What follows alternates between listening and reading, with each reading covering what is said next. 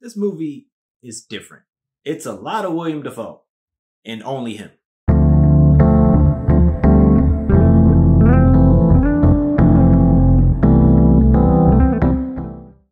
Hello, welcome to Just My Thoughts. I'm your host, Khaleel Ward. On this episode, I'll be talking about Inside.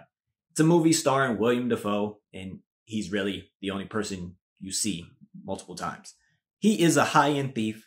He breaks into this New York penthouse, and he's there to steal some art. He does have some help. You hear some people on the walkies that, you know, they just like, this is open, you know, this door is unlocked, and then you hear the person telling him, we're here for four pieces of artwork or whatever. So Dafoe's like, all right, cool. And he's hitting He's hitting the different rooms. He's like, all right, this is it. This is it. Snagging them. He can't find one in particular. And the guy's like, all right, time to go. He's supposed to be in and out in seven seconds. So the guy's like, let's get out. He's like, all right, cool. What's the code? And he puts the code in to get out the front door and the system malfunctions. The alarms start blaring, the lights are flashing, and the guy on the walkie is like, I don't know what happened. You're on your own. And Dafoe's like, what? So he goes, he like cuts the speakers because it's making too much noise. He kicks out the lights because they just it was like yellow lights all over the place. And then he he like messes up the the alarm system. He knocks it off the wall or whatever. And he's he's like, okay, the sound went down. Cool. How am I gonna get out of here? So he does the normal thing, goes to the window, tries to break it, doesn't work. Goes to the door. The door is just huge. Can't open it without the alarm system. So he starts chipping at the door because it's wood he start he hits metal, so he can't get out that way. And then it becomes like the penthouse versus him because now that the system is broken, the temperature is messed up. And it's a cool 75 or whatever in the apartment. All of a sudden it starts going up and it hits 100. So now he's going crazy. The the pipes don't work. There's no water. He turns on the, the sink and it's nothing. The nothing in the faucet.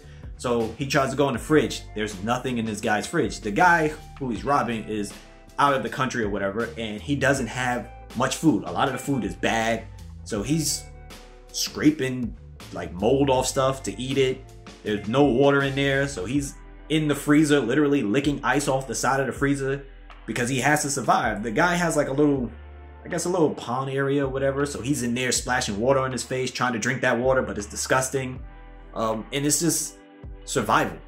And he's in there for a, while. At first, I'm like, okay, it's a, it's a day or two. He'll be out.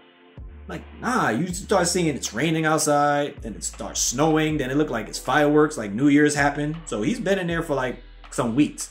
Then the temperature switches off, and now it's getting super cold, and he is slowly going crazy in there. And it's just his facial expressions, he's singing to himself a little bit, and he's he's losing it. And it's it's very interesting to see him act by himself. And he's trying to find a way out of this place. He sees something that maybe can work and he starts working towards it, building up this furniture to try to get to this thing to get out. And you the whole time you're like, will he make it? Will he have enough sanity to get out of there? And it's it's cool. It, again, very different, not for everyone. But while I was watching, I was like, I am very locked in on what's going on because he was figuring things out. He, the the guy had a little vegetable garden type thing, and the and like the sprinklers would come on, so he started putting bowls in there, so he'd have water to drink, um, and he was just making the most of it. Kind of going crazy, talking to people, giving people names because he had like a security system. He could see downstairs, he could see the cleaning people, but he couldn't communicate with them. So he was like doing his own thing. It was, it was a different type of experience, especially in the theater, just watching him work by himself. But if you enjoy William Dafoe, I would say check it out. Give it, you know, give it a chance. But those are just my thoughts on Inside. Thank you for watching. Thank you for listening.